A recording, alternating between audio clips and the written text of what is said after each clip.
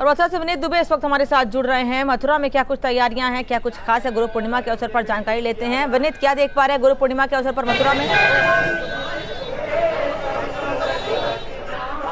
देखिए, बिल्कुल मैं आपको बताऊँगा कि गुरु पूर्णिमा का एक विशेष महत्व होता है और खास तौर पर मुड़िया पूनों के नाम से यहाँ पर एक मेला लगाया जाता है। और कह सकते हैं कि इलाहाबाद प्रयागराज में जो भी कुंभ मेला लगाया गया था तो यहाँ भी एक मेले जैसा दृश्य, आस्था का दृश्य यहाँ दिखाई दे रहा है। ये तस्वीरें आप देख सकते हैं गिरिराज जी महाराज का ठीक सामने मंदिर है। हम इस समय परिक्रमा मार्ग पर खड़े हैं और मंदिर के सामने आप देख सकते हैं कि भीड़ लगातार परिक्रमा लगा रही है।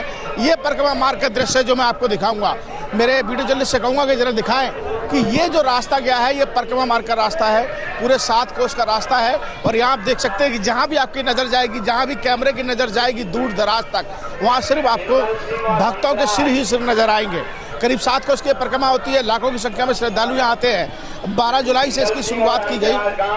आज आखिरी दिन है, लेकिन अगर संख्या की बात करें श्रद्धालुओं की तो करीब साठ से सत्तर लाख श्रद्धालु जो है, वो अब तक दर्शन कर चुका है और आज सबसे ज़्यादा भीड़ आने की उम्मीद जो है, वो आज यहाँ जताई जा रही है। विशेष महत्व होता है मुड़िया पूर्णों को। भगवान गिरिराज जी महाराज जो है, वो विशेष कृपा करते हैं आज के दिन अपने भक्तों पर। और यही वजह है कि दूर दराज से लोग यहाँ पहुँचते हैं। जैसा कि व्यवस्था की बात हो रही थी तो हम यहाँ दिखा सकते हैं कि पुलिस प्रशासन पूरी तरीके से यहाँ चाक चौबंद है।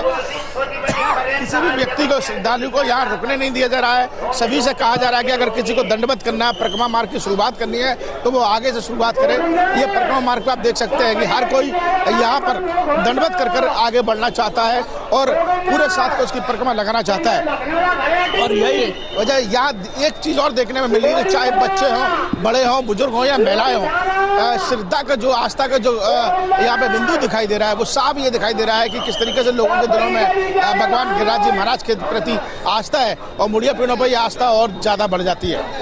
बिल्कुल, धन्यवाद, विनीता, आपका इस जानकारी के लिए।